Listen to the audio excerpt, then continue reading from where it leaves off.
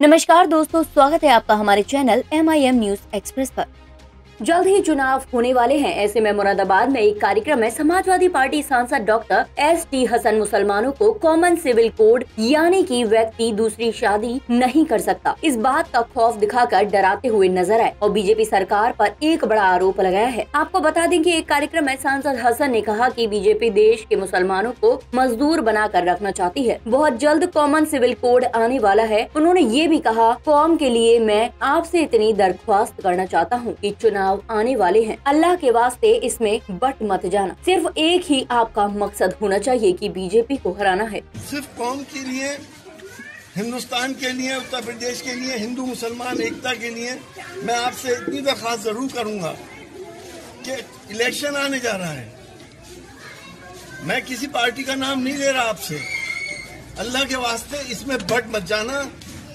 सिर्फ़ एक ही एक ही आपका मकसद होना चाहिए कि बीजेपी को हराना।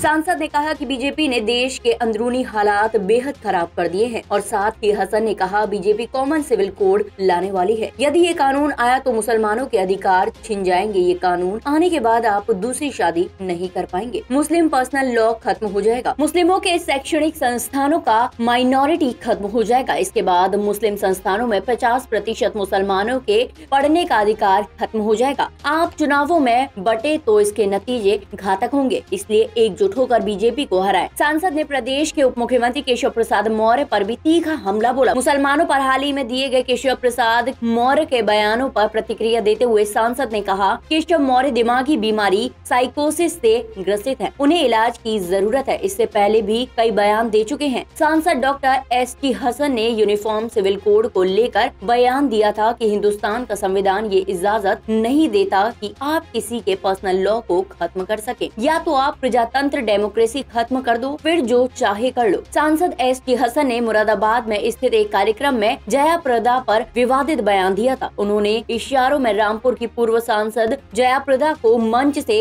तवायफ कहकर संबोधित किया। क्या इन सभी बयानों से बीजेपी हार जाएगी या फिर सच में बीजेपी कॉमन सिविल कोड लाने वाली है? आपकी क्या राय है? इस बारे में हमें कमेंट करके ज़रूर बताएगा। इसके साथ ही देखते रहे M I M news express